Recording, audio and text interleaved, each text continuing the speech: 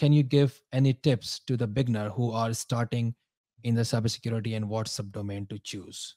I get this question a lot from various folks. You know, they're interested, they don't know where to really focus because there's a lot of different domains of security. You know, where what excites you the most? What what do you get the most passionate about?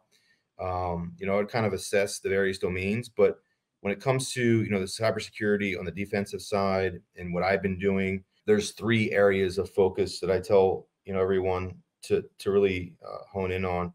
Um, one is you know networking so when it comes to networking, and when I talk about networking, IPv4, IPv6, TCP/IP, you know, understanding the protocols, routing and switching fundamentals, those that I mean, that's a foundational um, thing when it comes to really anything, right? The internet, local networks, cloud infrastructure, understanding networks is certainly going to be uh, one thing.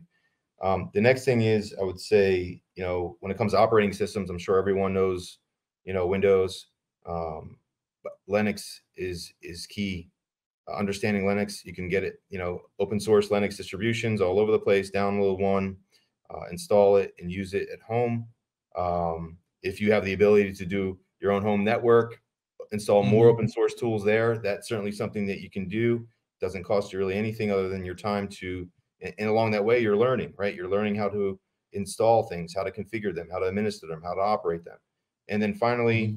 you know, look at the security, you know, uh, domains and do some analysis there and find out what interests you the most.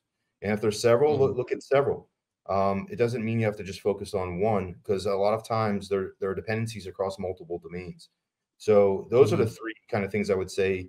Uh, you know, networking, uh, certainly Linux, operating systems knowledge, and security. Uh, pick some domains or, or, focus on one one or two single domains and you know having the home network and, and, being able to play with things all the time at home certainly will accelerate you know your ability yeah. to learn